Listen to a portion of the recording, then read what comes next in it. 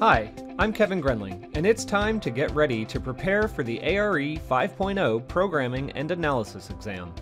I'm an architect and professor of architecture in Southern California, and I will help you develop a strategy for success on the ARE. Programming and analysis will challenge you on both objective and subjective knowledge about the profession.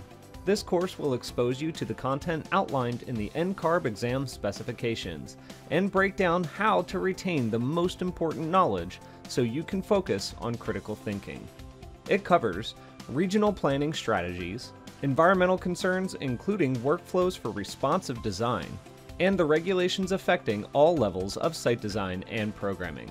It is this course's aim to prepare you not only for a pass, but also strong performance in the workplace.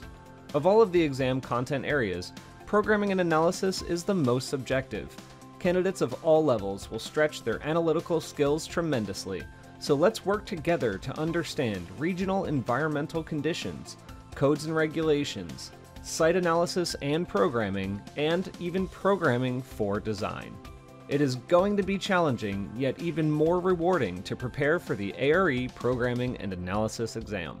Good luck in your studies, and I'll see you on the inside.